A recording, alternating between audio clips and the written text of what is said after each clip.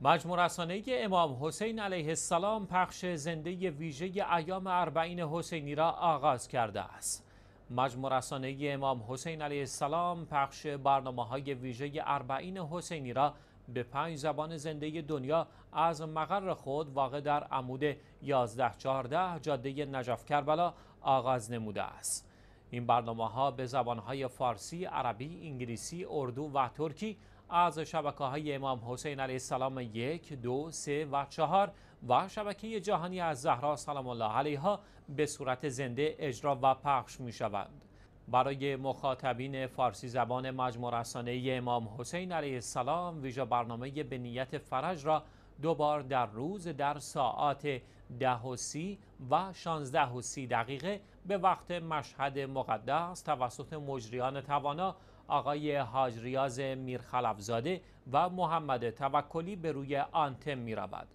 لازم به یادآوری است این برنامه از مقر دائمی مجموع رسانه امام حسین علیه السلام تحت عنوان حسینیه حضرت علی اکبر علیه السلام واقع در عمود 1114 در جاده نجف کربلا در سراسر جهان پخش می شود.